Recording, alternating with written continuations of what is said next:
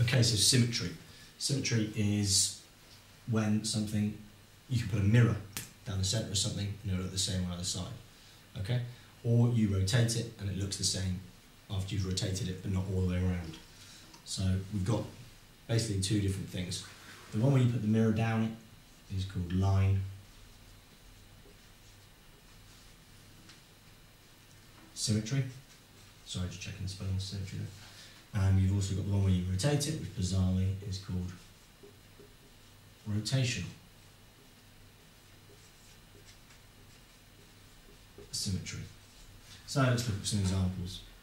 We've got the letter T.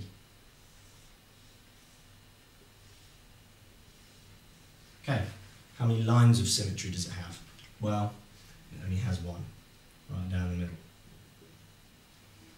Got one line of symmetry. How much rotational symmetry does it have? It's got order one rotational symmetry because you have to go all the way back around to the start. So, line, symmetry, that only has one. So one line. So I should have put root. One line of symmetry rotation.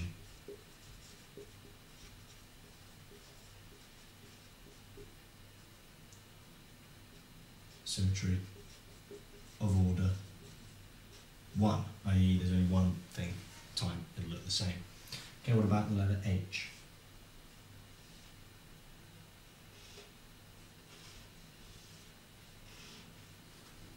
Well, the letter H has two lines of symmetry.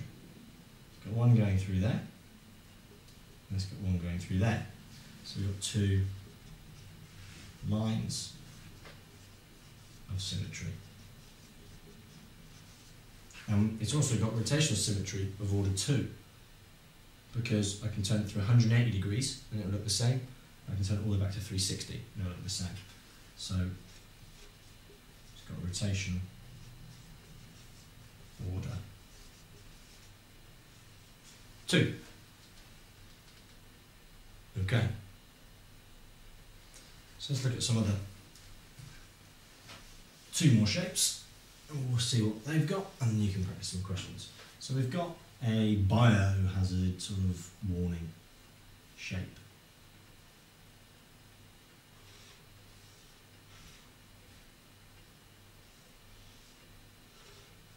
Like that. Okay, how many lines of symmetry does that have? Well, it's got one line coming through here. It's got one line coming through here. And it's got one line coming through here. It doesn't have any others. So it's got three lines of symmetry. And it's got rotational symmetry of order 3, because I can turn it from here, there, and turn it. So that one's put in the same place, and then all around, and so that one's in the same place, and then back to the start again. So we've got order 3 on rot. Sim. It's my lovely shorthand. Okay, so one more shape.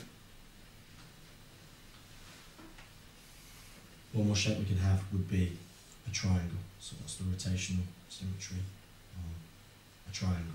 Well, it's if we look, it's going to be the same as what we just did there.